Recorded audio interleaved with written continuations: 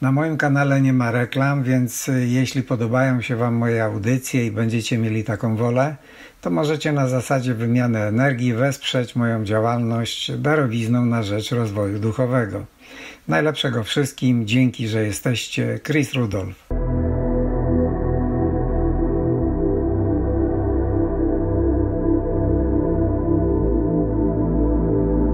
Cześć wszystkim, Chris Rudolph, Telewizja Nowej Rzeczywistości.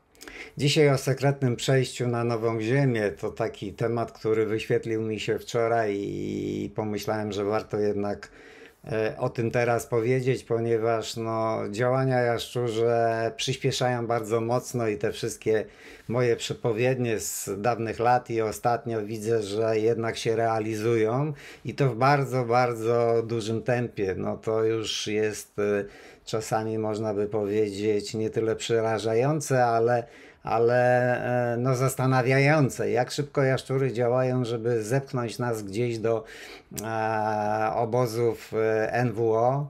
E, no i te wszystkie działania Unii Europejskiej, która też chce zrobić tutaj z Europy Euroskansen, z dużą depopulacją i tak dalej. To są oficjalne dokumenty, więc tutaj nic nie wymyślam. Kto chce, to sobie poszpera w internecie i to znajdzie. Towarzysze z Unii tak sobie wymyślili i wymyślili, że uruchomią to do końca tego roku, więc e, ludzie opalają się na plażach, e, bawią się w wakacje, to oczywiście nic złego. E, oglądają olimpiadę, dla niektórych bardzo cudowną, a bardzo mocno satanistyczną. No i, nie zwracają uwagi na to, co się tak naprawdę dzieje. A dzieje się dużo za naszymi plecami. No i wszystko wskazuje na to, tak jak powiedziałem, że niedługo, jak skończą się wakacje, przyjdzie wrzesień, to się obudzimy z ręką w nocnikach a, i zobaczymy zupełnie inną rzeczywistość, będziemy w zupełnie innych realiach. No ale to też jakby dla każdego będzie inaczej. Mm, sam na wszystkie pytania nie mam odpowiedzi, zresztą na wiele pytań nie mam odpowiedzi, a tą wiedzę, którą posiadam, no to w dużej mierze dzielę się z Wami w swoich audycjach. To, co mogę powiedzieć i pokazać, a to, czego nie mogę na YouTubie, no to na warsztatach, ewentualnie na takich zamkniętych spotkaniach przy webinarach, które robię z Grzesiem Glinką. No ale na początek chciałbym się odnieść do paru ciekawych wpisów, które początkowo mnie wkurzyły, później rozbawiły, a teraz no jakby chciałbym wyjaśnić pewne rzeczy bo ktoś napisał, że jestem e, bajkopisarz i że robię biznes na warsztatach. No, e, wyjaśniłem już, że nie wszystko mogę powiedzieć w tych programach, ale bardzo wiele rzeczy właśnie w audycjach przekazuję z tego wszystkiego, co jest w mentalnym plecaku przetrwania. Więc e, biznesu na tym wielkiego nie zrobię. Niedługo zresztą do końca tego roku planują nasi towarzysze, których Polacy wybrali do tych e, władz całych, planują zakończyć e, egzystencję pieniądza e, papierowego, no i ma już być jakiś tam, nie wiem, bitcoin czy coś takiego, więc biznesu dużego na tym nie zrobię. Zresztą tłumy nie lecą na moje warsztaty, to są nieduże grupy, tym bardziej o biznesie nie ma mowy. Ktoś, myślę tak po energii, jakaś jaszczurka chyba, nieważne zresztą, napisała, że obiecuje zbawienie dla warsztatowiczów, że dla, dla tych, którzy przyjdą do mnie na warsztat, to ja obiecuję zbawienie. No nigdy czegoś takiego nie mówiłem, bo sam e, w sobie nie widzę, nie wiem, czy będę zbawiony, czy nie będę zbawiony, nie mam takiej wiedzy. E, obiecuję warsztatowiczom, że dam narzędzia, które mogą wykorzystać i być może to poprawi ich los, czy całą e, sytuację, w jakiej możemy się znaleźć, to jest jak zachować się w tym, co nadchodzi. Więc te, te, te narzędzia, które na warsztatach przekazuję, one są skuteczne i, i dlatego je przekazuję i tutaj no, już też odnoszę się do, do tego wpisu.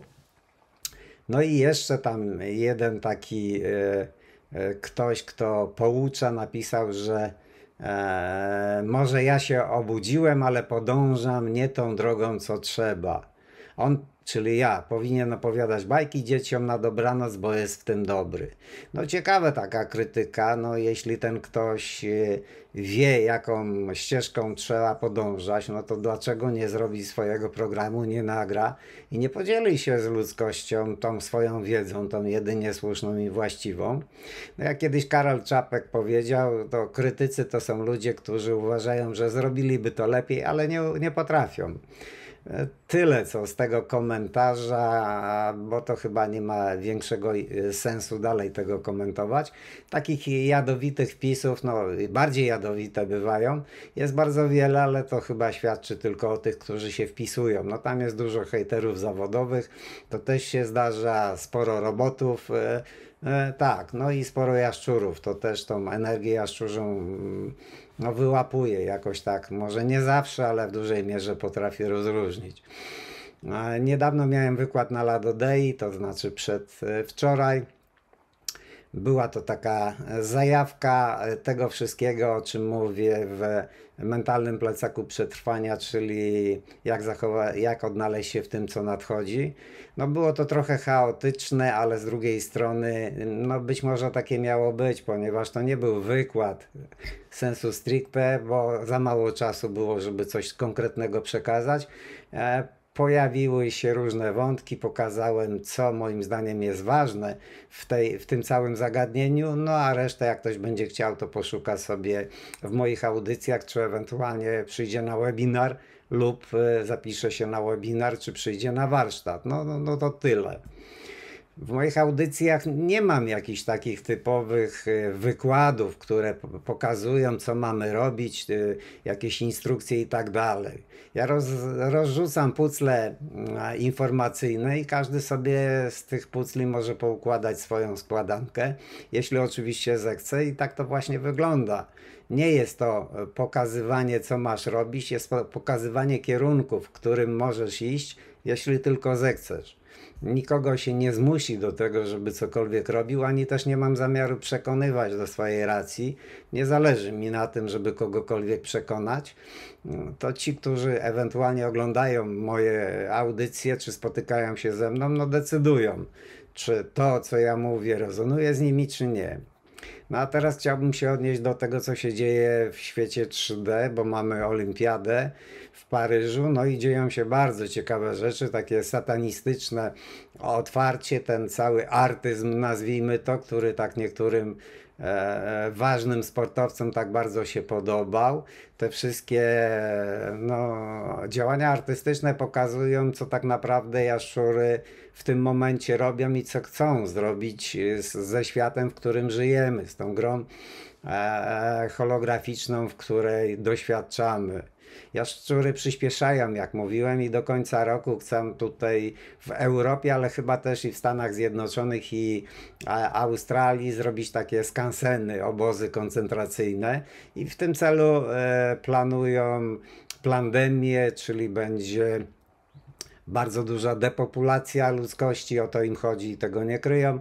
E, walnie chyba system finansowy, będzie głód, drożyzna, zniewolenie być może wojna, a na pewno chaos. Chaos już się zaczyna i, i nie mówię tego po to, żeby straszyć, tylko po to, żebyśmy wzięli to na klatę i zastanowili się, czy e, podchodzimy do tego jak do tragedii i wtedy no, rzeczywiście to może być bardzo trudne i nieprzyjemne, ale może podejdziemy jak do wyzwania, albo jeszcze lepiej do przygody.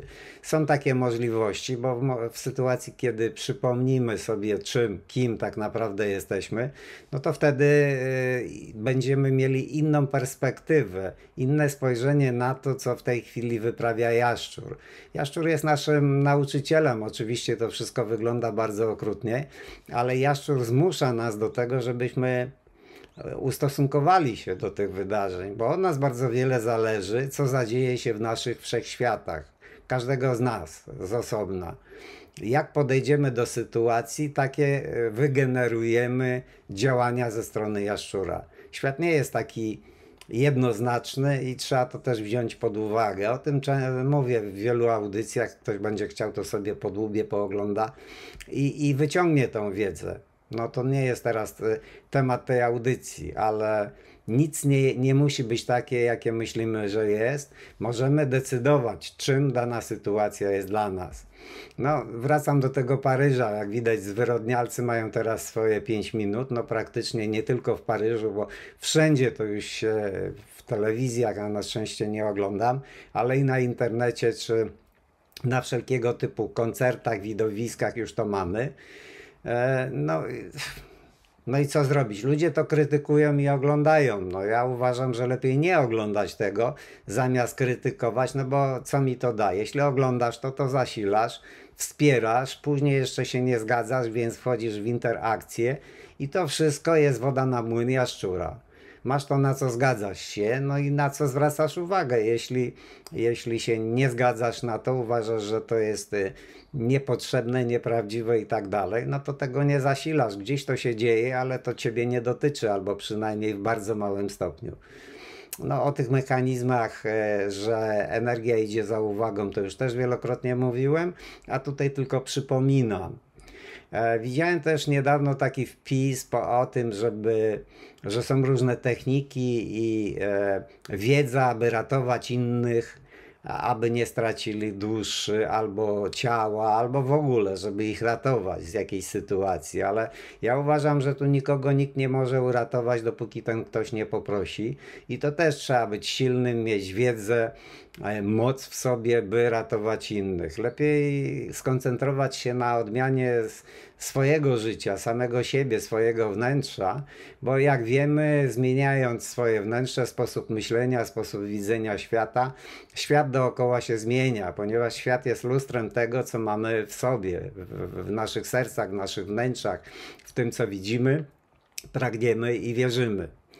No i tu znowu przytoczę bardzo piękną sekwencję z Lwa Tołstoja, który powiedział, że e, jeśli chcemy, żeby ulica była czysta, to ważne jest, aby każdy posprzątał przed e, swoim domem i wtedy calutka ulica będzie czysta. To jest piękna metafora tego, co powinniśmy robić, by odmienić świat na lepsze. Teraz widzę bardzo dużo lenistwa i zazdrości. Ludzie chętniej e, e, zazdroszczą komuś, że tam osiągnął to czy tamto, ale ze swojego lenistwa nie chcą dubska ruszyć i uważają, że a, a, no, ktoś ma lepszą sytuację, bo wykonał jakieś działania, czegoś się nauczył, czegoś dokonał. No ta zazdrość, taki pies ogrodnika jest powszechnie znana i to nie tylko tutaj w tym świecie, czy w, tym, w tej korporacji, w której teraz żyjemy, ale ogólnie to jest taka ogólnoludzka przywara, rzekłbym.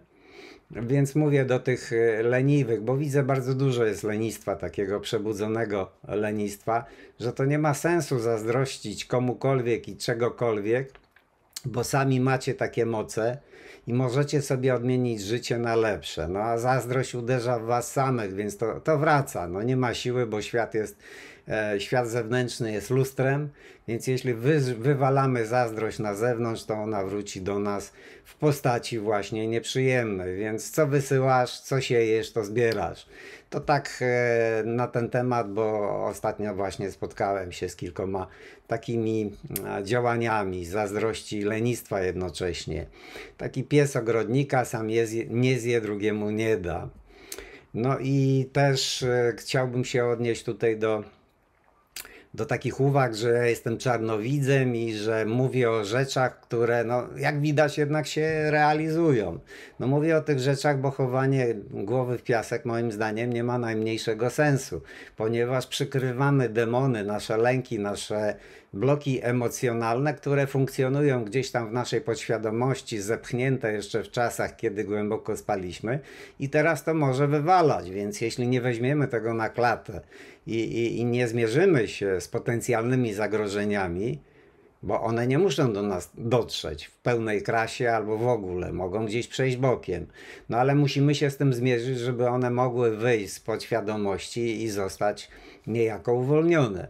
Jeśli tego nie zrobimy, no to trzymamy te demony w ukryciu, w podświadomości i wtedy każda drastyczna sytuacja, jakieś niebezpieczeństwa wywalą te demony na wierzch. Wtedy możemy stracić kontrolę nad sobą, nad swoim życiem, no i, i, i tak się zadziewa, że, że wtedy jaszczur może przejąć e, kierownictwo nad e, naszym życiem i poprowadzić nas tam, gdzie, gdzie nie chcemy być. No to tyle, to takie właśnie ostrzeżenia. Ten mój mentalny plecak przetrwania o tym mówi, żeby poznać sytuację, zobaczyć na ile ona jest groźna, co możemy z tym zrobić i gdyby e, pewne zagrożenia pojawiły się w naszym życiu, to będziemy już mieli jakieś rozeznanie i nie będziemy tego tak bardzo demonizowali. No ale wracam jeszcze do, do tego lenistwa i zazdrości, no bo żyjemy w świecie kłamstw, żyjemy w świecie odwróconym, gdzie kłamstwo jest właściwie w tej chwili powszechne. No ale to, to tak się ma e, w satanizmie, gdzie jest świat odwrócony. Teraz właśnie e, szatan pokazuje prawdziwą swoją twarz, jego wyznawcy już jawnie też e, ukazują się tu i ówdzie, nie kryją tego, komu służą i jakie mają z tego profity, no to jest też ich sprawa, ja tego nie krytykuję, bo e, to my mamy się odnieść do tego, co oni robią i ewentualnie albo ich olać, albo ich potępić, albo e, przyłączyć się do nich. Każdy ma swój wybór, od nas zależy, jak do tego podejdziemy. Mówiłem to e, troszeczkę wcześniej, no ale królestwo kłamstw tu znowu zacytuję Karela Czapka. Mm, Królestwo kłamstw nie jest tam, gdzie kłamią, ale tam, gdzie to kłamstwo akceptują. No i tutaj widzimy, jak bardzo wiele osób akceptuje ten świat, w którym żyjemy. Zgadzają się na wszystko, a co na, zatem idzie, nawet e, wybierają swoich katów nie chcą widzieć prawdy, kręcą się gdzieś e, w jaskini platońskiej, odbierają cienie jako realną rzeczywistość i działają zgodnie z tym, co narzuca im jaszczur. No tego jest bardzo wiele, czytam różne komentarze na internecie i no nie tyle, że jestem przerażony, ale, ale ręce opadają, jak widzę tych przebudzonych, którzy komentują, który polityk jest dobry, a który niedobry. Moim zdaniem nie ma dobrej polityki, nie ma dobrych polityków, ponieważ jest to mechanizm zniewolenia ludzkości i to wszystko rozgrywa się, jak już mówiłem w poprzednich programach, między tak zwanymi elitami, to oni tak się nazwali, czyli pasożytami i ludzkością. Czasami do, dołączają do tych niby elit e, ludzie z niższych sfer, którzy sprzedali się, no i działają po to, żeby oszukać resztę, by zwodzić resztę i tak dalej no to też jest element tej gry zwanej życiem i od nas zależy, jak do tego podejdziemy. Nie ma sensu tego demonizować, ponieważ to jest gra. To jest gra holograficzna, gra bardzo sugestywna, z którą no, możemy się zmierzyć i zobaczyć, e, jak sobie z tym poradzimy. W tej chwili no, odbywa się taka moim zdaniem wielka selekcja życie oddziela ziarna od plew, czyli e, oddziela tych, którzy trzymają się źródła, trzymają się ducha, od tych, którzy poszli głęboko w materię, no i tracą e, połączenie ze źródłem, tracą e, zasilanie energetyczne, no bo satanizm i to wszystko, co teraz się dzieje, świat odwrócony czy kłamstwo, to jest cień prawdziwego życia cień, w którym rządzi strach, czyli odwrócenie miłości, brak miłości. Więc jeśli wybierasz strach, wybierasz świat strachu, cierpienia, no, cienia, no to, no to możesz sobie dorysować, co dalej będzie. Ale każdy ma swój wybór i każdy ma jakieś tam e, wewnętrzne potrzeby doświadczenia. No, jeśli nie poznamy ciemnej strony naszego życia, nie będziemy do końca mogli docenić, jak, e, jakie ma zalety jasna strona. Ale też stawanie po jednej czy po drugiej stronie to jest e, no, podleganie wpływowi Matrixa, ponieważ e, to są dwa skrzydła tego samego ptaka. Służyć światłu czy służyć ciemności, to znaczy, że służyć e, Matrixowi. Myślę, ktoś tak ładnie powiedział, że służyć jasności, a właściwie nie służyć, bo człowiek jako istota wolna nie, nie musi i nie powinien nikomu służyć. Wolność to oznacza brak jakichkolwiek panów. To jest absolutna wolność to jest e, działanie w miłości bez jakichkolwiek nakazów i zakazów. Istota energetyczna, istota źródła nigdy nikogo nie skrzywdzi, no bo nie będzie miała takich potrzeb, tak uważam. Być może jest inaczej, ale to już e, nam zakazy, przynajmniej tym, którzy chcą żyć jasności nie są potrzebne. Jeśli masz nad sobą jakichś panów, to jesteś w Matrixie, bez względu na to, czy to będą e, jacyś bogowie, czy Jezus, czy Trump, czy Rada Galaktyczna. Jeśli potrzebujesz jakichś przewodników, to niestety no, oni nie wyprowadzą cię z matni, bo oni są wytworami Matrixa. To są produkty Matrixa, e, które mogą tylko wciągać głębiej w istotę e, materii i nic więcej. Każdy z ludzi, no jeśli jest człowiekiem, bo nie każdy, kto wygląda jak człowiek, jest człowiekiem, e, ma swo- każdy z ludzi ma swoje sekretne przejście na nową ziemię. I te, to, to sekretne przejście jest w naszych sercach. Tamtędy można przejść tylko jako solista samemu. Nikt e, w nasze serce nie wejdzie i tamtędy nie przeprowadzi nas na nową ziemię. Więc możemy to zrobić bez żadnych przewodników. Możemy to zrobić tylko i wyłącznie samodzielnie. Przewodnicy mogą nam być potrzebni do tego, żeby pokazać nam kierunki i to też każdy, dla każdego ten kierunek może być trochę inny. Dla każdego inne narzędzia będą potrzebne, żeby e, e, pomóc sobie w tym, aby odnaleźć dokładnie tą drogę na nową ziemię i przejść, jeśli oczywiście mamy taką, e, mamy taką potrzebę i chęć. Sama chęć nie wystarczy, bo musi być jeszcze wiedza i działanie. No i oczywiście wiara i energia, czyli połączenie ze źródłem. Te wszystkie elementy są potrzebne, by wznieść się poprzez swoje serca na poziom 6 i 7D, nazwijmy to, e, na nową ziemię rywodnika. I to jest jedyne przejście na tą nową ziemię.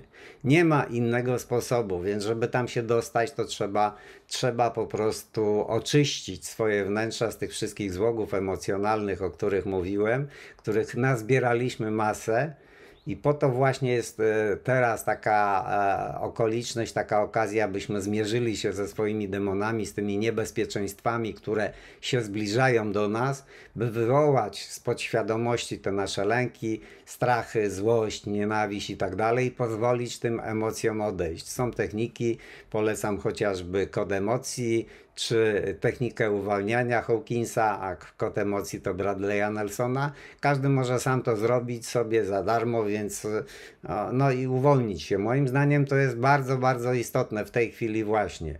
Nie będziemy mieli lęków w sobie, nie damy się omotać, a przynajmniej tak łatwo nie damy się omotać i będziemy mogli jasno patrzeć na to, co się dzieje i znajdywać e, wyjścia z nawet najtrudniejszych sytuacji.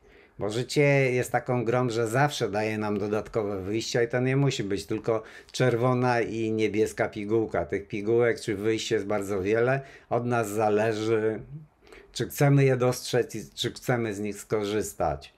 Jesteśmy takimi e, nieruchomymi wędrowcami, alfą i omegą, czyli wszystko mamy w sobie i sami kreujemy swój własny los.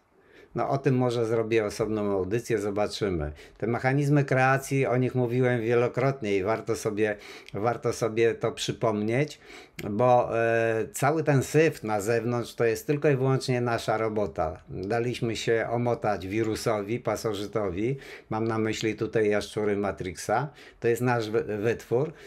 No ten wirus skłonił nas do tego, żebyśmy działali przeciwko sobie, wbrew sobie, czy tam na E, swoją niekorzyść. No i tak to właśnie się dzieje. My e, zrobiliśmy ten bajzel i sami możemy posprzątać, jeśli będziemy chcieli. Matrix nie jest jedyną możliwością doświadczania czy bytowania.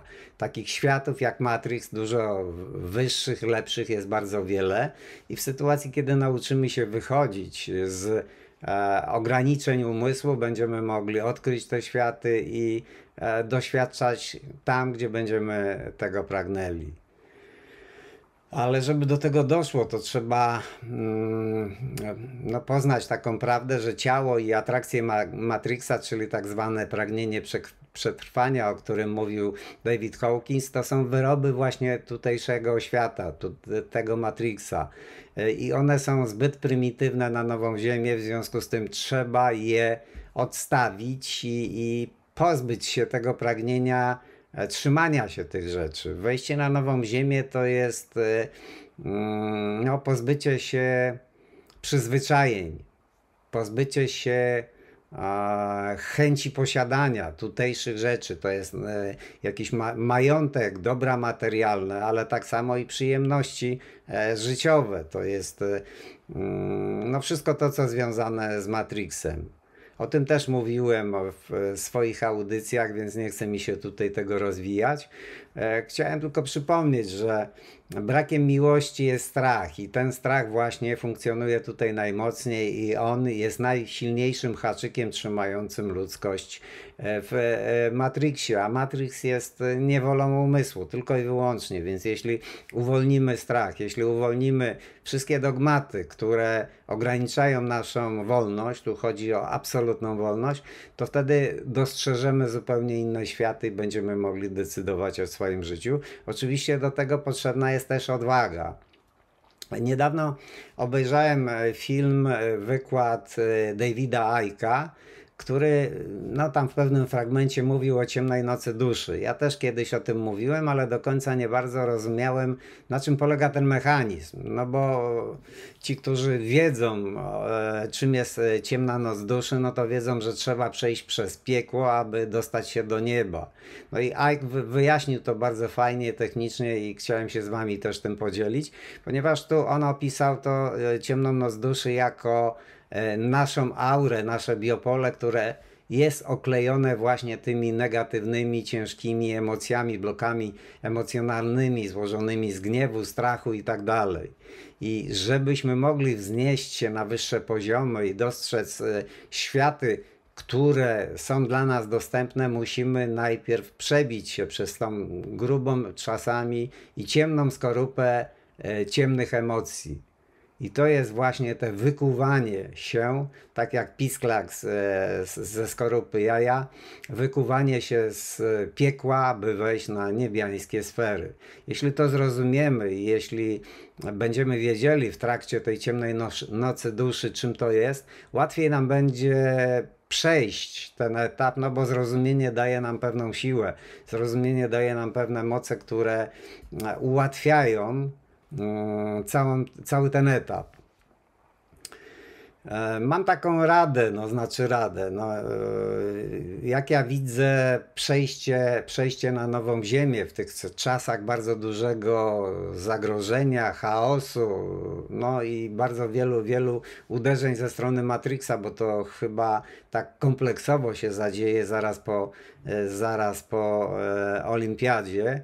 Więc ja widzę, że e, umysł nie wyprowadzi nas jednak z, e, właśnie z Matrixa na nową Ziemię, ponieważ umysł nawet nie ma pojęcia, czym jest nowa Ziemia i jest za, za słaby, jeśli chodzi o. E, za nisko wibruje, żeby dowiedzieć się, czym jest nowa Ziemia, żeby nas tam doprowadzić. Nie jest zresztą zainteresowany tym, abyśmy w tamtą stronę się skierowali. Nowa Ziemia to przejście jest przez portal znajdujący się w naszych sercach. No, tam jest tylko i wyłącznie tu i teraz, nie ma czasu liniowego, więc y, moim zdaniem e, jakiekolwiek główkowanie, jak tam się dostać, nie ma sensu, ale za to warto zaufać przestrzeni, źródłu, Bogu, czy jak tokolwiek woli i pozwolić, pozwolić się prowadzić w, nawet w trakcie tych burzliwych wydarzeń. Po, pozwolić się prowadzić bez oczekiwań i bez lęku o to, że stracimy ciało. Być może stracimy, być może jest taka potrzeba, bo e, z tymi bardzo prymitywnymi ciałami, które tutaj posiadamy w Matrixie i które są zmanipulowane chociażby przez gadzi mózg, ale tam pewnie jeszcze innych manipulacji i implantów mamy sporo, e, więc być może no, niektórzy będą mieli tą możliwość przemienić swoje ciała w ciała świetliste, a inni będą musieli te ciała zgubić, żeby żeby właśnie przejść na nową ziemię. Myślę, że jednak w ciałach fizycznych, takich dokładnie jak tu jesteśmy, to chyba tak do końca nie uda się na nową ziemię przejść. No ale tutaj już jest to, taki temat, który nie jest najważniejszy w tej całej, e, w tej całej mojej audycji. Czyli pozwolić się prowadzić za e, przestrzeni, źródłu, Bogu, bez oczekiwań, zaufać tej przestrzeni. No i chyba to jest tyle. No, to chciałem Wam przekazać, ponieważ e, Jest to ważne, też często spotykałem się z pytaniami, a co tak naprawdę zrobić. No naprawdę to do końca nie wiemy. Warto być przygotowanym na różne ewentualności matrixowe, ale i tak jak akcja dzieje się szybko, często zapominamy o tej wiedzy i później działamy instynktownie. Więc jeśli mamy wiedzę, która jest już tam zapisana w podświadomości, to i działania instynktowne są bardziej skuteczne. O, tak bym to powiedział. Więc e, zaznaczam, nie wszystko mogę tu w audycjach powiedzieć, e, tu na YouTubie, więc dlatego robię webinary i warsztaty. Najbliższy taki webinar to jest już 1, 1 sierpnia, czyli w ten najbliższy czwartek o godzinie 16 zaczynamy z Grzesiem Glinką e, i zapisy pod mailem hello małpa grzegorzglinka.com no i najbliższy warsztat to jest za dwa tygodnie, 10 sierpnia w Warszawie. To też mamy zapisy na neoland.małpatlen.pl e, Wydarzenia na Facebooku. Jak chcecie się dowiedzieć o jakieś szczegóły, to zapraszam na moją stronę na Facebook i tam będziecie mogli sobie wszystko przeczytać. Ewentualnie maila do mnie na neoland.małpatlen.pl i prześlę informacje dotyczące wydarzenia. No to zaproszenie jest dla ludzi aktywnych, którzy chcą coś zrobić ze sobą, ze swoim życiem. No tak, bo ci, którzy żyją życiem pod tytułem jakoś to będzie, no to i tak nie skorzystają z tego, co mam do przekazania.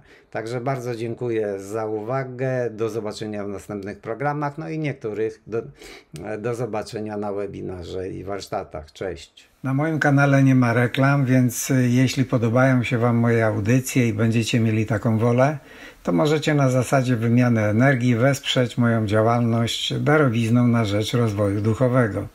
Najlepszego wszystkim, dzięki, że jesteście. Chris Rudolph.